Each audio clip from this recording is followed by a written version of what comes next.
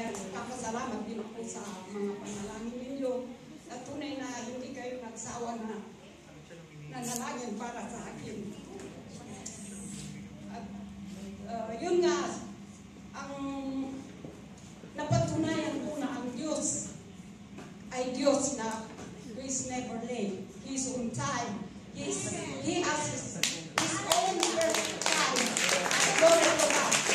Yun ang napatunayan ko kasi yung nung first na na-confine ako, sabi ng sabi ni Dr. Rinzi na ipiprepare daw ako para sa operasyon. Kaya sabi ko, "Ay, parang hindi ako prepare. Ang gusto ko nandito yung kapatid ko. At nagpapasalamat ako sa Panginoon nang pumunta yung surgeon. Tinawagan niya muna yung radiologist, yung doktora ko sa radiologist. Sabi ng radiologist, uh, mas maganda na paghilin niyo muna yung effect ng radiolo, radiolo, yung radiotherapya para ano kaya yung schedule ay it's either 31 to 3. Yun ang schedule kaya kaya sabi ko, yun na nga, yun.